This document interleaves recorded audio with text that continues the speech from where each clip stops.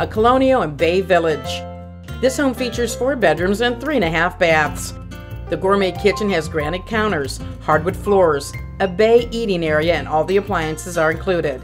The dramatic two story great room showcases a stone faced fireplace. The huge formal dining room is a great place to entertain. The huge bonus room over the garage could be used as a teen suite or in law suite. Contact John Chandler for more details.